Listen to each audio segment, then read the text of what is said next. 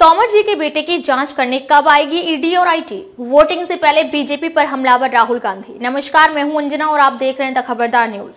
आई शुरुआत करते हैं इस वक्त की बड़ी खबर से। केंद्रीय कृषि मंत्री नरेंद्र सिंह तोमर के बेटे का कथित वीडियो जारी होने के बाद कांग्रेस लगातार बीजेपी पर निशाना साध रही है।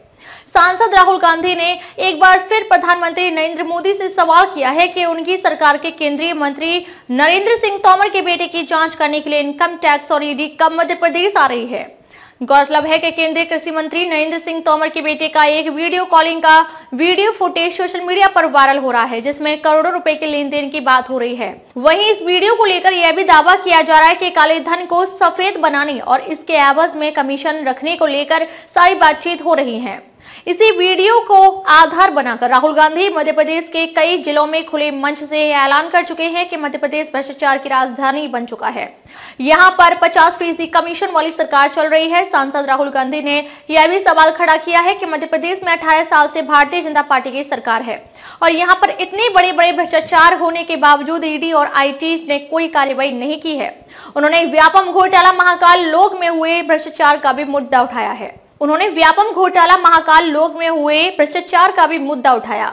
एडिट वीडियो की dirty politics BJP Madhya Pradesh के नीचम हरदा भोपाल में रोड शो और आम सभा के दौरान राहुल गांधी ने भारतीय जनता पार्टी पर निशाना साधा।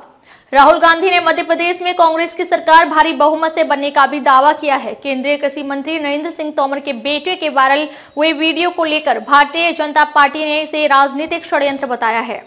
बीजेपी के प्रदेश प्रवक्ता राजपाल सिसोदिया के मुताबिक चुनाव के वक्त पर यह सोची समझी साजिश के तहत एडिट वीडियो को डर्टी पॉलिटिक्स के ज़रिए वायरल किया गया है। इस पूरे मामले की जाँच की जा रही है और दोषियों के खिलाफ कड़ी कार्रवाई होगी। उन्होंने यह भी कहा कि राहुल गांधी के हिसाब से कार्रवाई नहीं होगी। मध्य प्रदेश में कानून का राज है। जगह से हमें दे देंगे अपना ट्रांसफ़र ठीक है। और चंडीगढ़ से भी। ठीक है। तो इनको क्या है भैया उनके पास एवरी मंथ उनका सीए हमें बताएगा कि 50 सी है 100 है 500 है कितना है।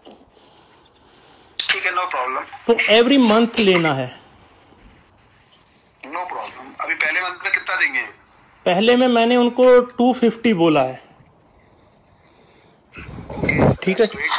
250 बोला है तो उसका सीए आज ना मेरे बैंक मैनेजर को मिलेगा।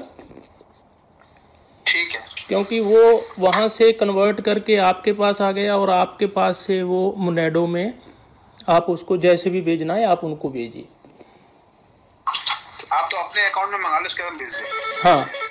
तो मुनेडो में ना कम से कम 50 परसेंट रखिए अपना इक्विटी स्टेक रखेंगे नो प्रॉब्लम ठीक है ना?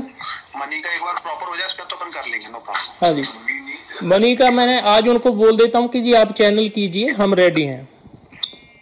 राइट राइट राइट ठीक है जी? तो मैं आज शाम तक आपको करके सारा तो बताता हूँ ठीक है जी? करो करो करो करो। ठीक है? ओके भैया। 18 साल से यहाँ बीजेपी की सरकार है और आपने अपनी आँखों से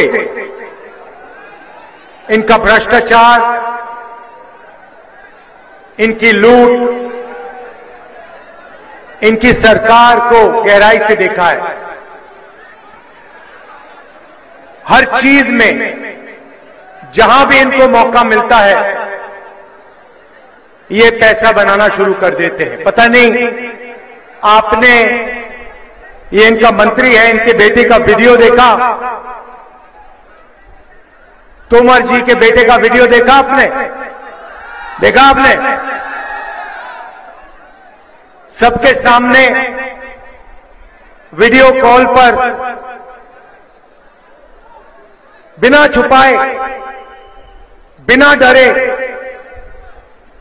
मध्य प्रदेश के किसान, मजदूर, गरीब युवाओं का पैसा आपके सामने, सबके सामने चोरी कर रहा है। भाइयों और बहनों, तोमर जी के बेटे पर नरेंद्र मोदी ने कार्रवाई की।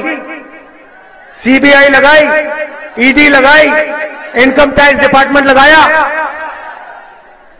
यहाँ पे 50 परसेंट कमीशन सरकार चल रही है। महाकाल कॉरिडोर में चोरी की। व्यापम में एक करोड़ युवाओं को नुकसान किया। 40 लोग मर गए। कोई इंक्वायरी नहीं। पटवारी एग्ज़ाम स्कैंडल में कोई इंक्वायरी नहीं। एमबीबीएस सीट बिकती है, कोई इंक्वायरी नहीं। आपका पैसा जाता है, सबके सामने।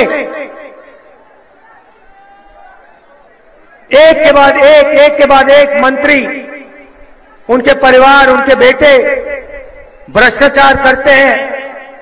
कोई कार्रवाई नहीं होती। अब तक लिए बस इतना ही। फिर मिलते हैं कुछ ऐसी ही बड़ी खबर के साथ। तब तक नमस्कार और देखते रहिए द खबरदार न्यूज़। अगर आपको वीडियो पसंद आई हो तो वीडियो को लाइक करें, शेयर करें और हमारे चैनल को सब्सक्राइब करना ना भूलें।